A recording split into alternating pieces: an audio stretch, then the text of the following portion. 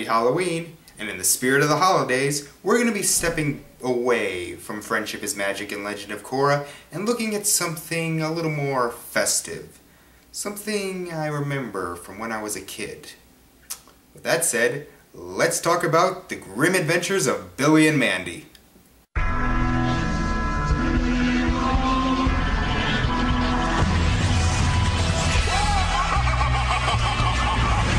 Originally voted as the winner of Cartoon Network's Big Pick to become the newest cartoon cartoon, the series officially premiered in August 2001 and lasted until 2007.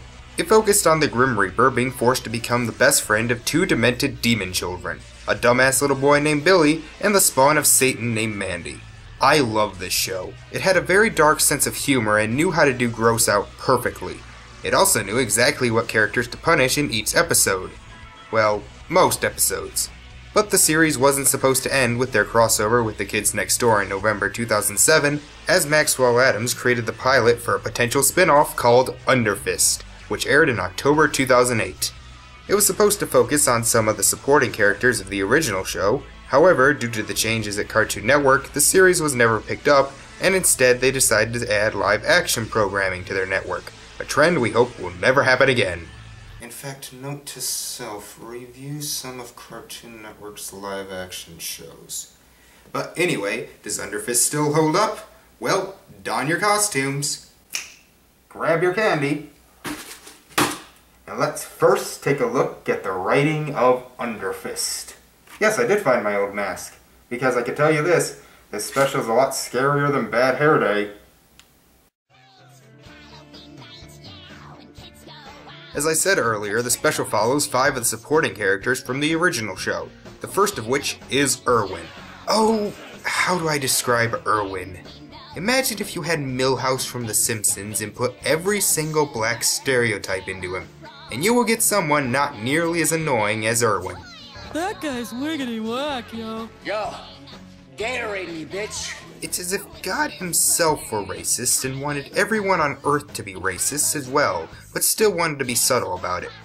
Now that's not to say he can't be funny, because he can, but you'll notice quickly it's funnier when stuff happens to him and not because of the stuff he does or the things he says.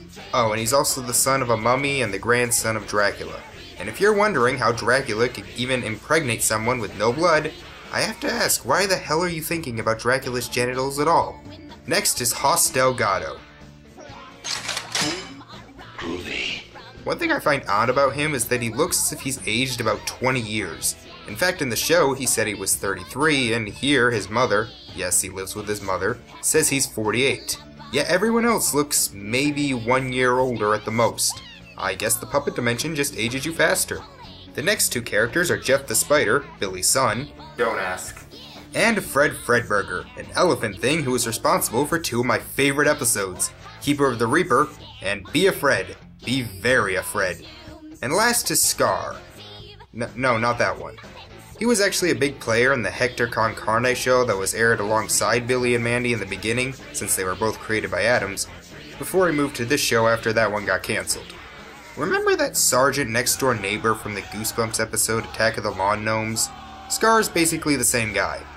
Each character is pretty much on par with how they were in the original show. They don't feel any different, as if they were flanderized to make it funnier. So, how's the plot?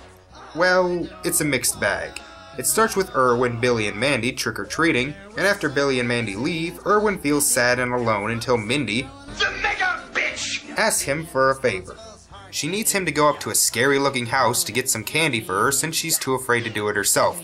He goes up, and as soon as he touches the doorknob, a portal opens, and out comes an army of. Bunnies?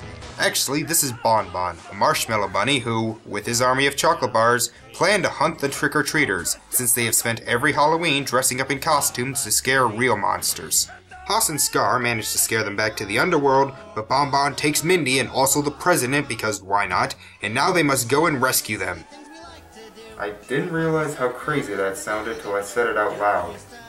Honestly, I never got how dressing up like monsters was supposed to scare monsters. Wouldn't that be like if in Monsters Inc. they dressed up as a human to scare Boo back to her room? Well, I guess if they dressed up like Marty Feldman or Renee Zellweger, but I don't think they have many costumes like that in Monstropolis.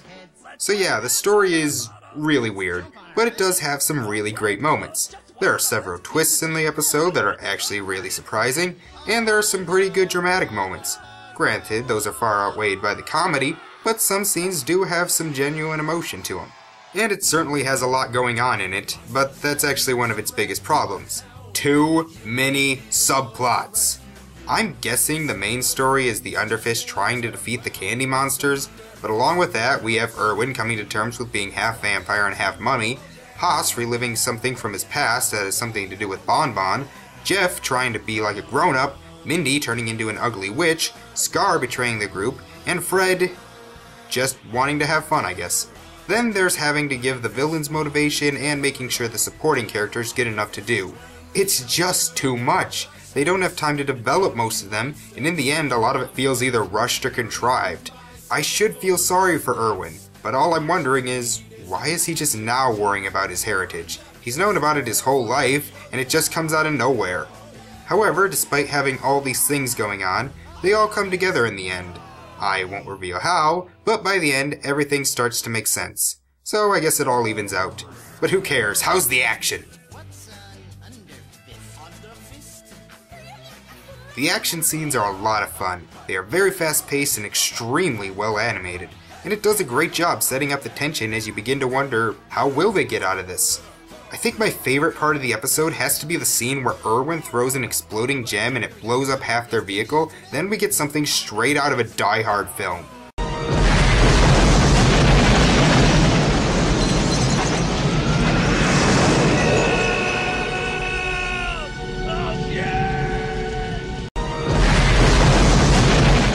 Few parts where the CG is obvious, but for the most part the animation is really good. However, I don't get why they had to redesign some of the characters.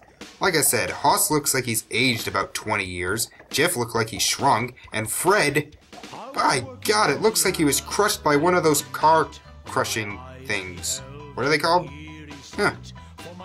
I guess he had to lose a lot of weight living in the Arctic, eating nothing but frozen yogurt and nachos. So despite a few weird redesigns, the animation is pretty good, and so is the voice acting and music. Oh, I'll get to the songs later, but the background music is just really good. However, the pacing's a bit off, I notice. As I said, there's a lot of things going on, and yet the special just sort of spends a few seconds on one aspect, then goes to something else before coming back to it a few scenes later. I mean, Jeff's whole story basically goes like, I want to have fun, but I have to be more responsible. Now I'm an adult. Being an adult is hard. Well, just because I'm growing up doesn't mean I can't act like a kid. Also, that moral is kind of terrible. But this is a comedy, so how does it work on that aspect? I would say the special is about 80% funny and enjoyable. It only starts to get boring in the last 15 minutes, which is why I think this should have been about 44 minutes long instead of an hour. While the twists and everything wrapping up was interesting, I wasn't laughing that much, except for Hoss's secret weapon. That was hilarious. Also, I didn't find Fred as funny as I did in the original show. He did get a few laughs, but he was absolutely hysterical in his appearances before, well here I can't help but feel he was mostly just put in for fan service. I think the problem was that he wasn't really annoying any of the characters. Sure, they question his actions, but they just sort of shrug it off and move on. Come on, the way to make annoying characters funny is when they are annoying the other characters more than the audience. Hoss and Scar, though, are freaking great. I love these two, and I kind of wish the special was only about them. There's also a lot of cameos from the old show and some great pop culture references and fourth wall jokes, including one of the best, if not the best, fake out endings ever made.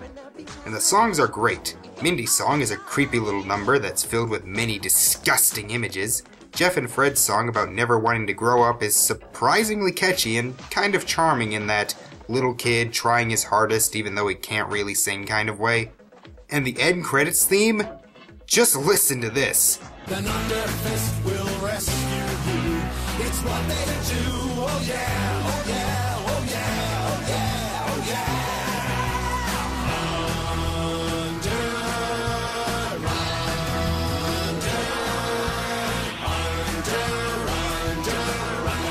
And there's plenty of other funny lines throughout.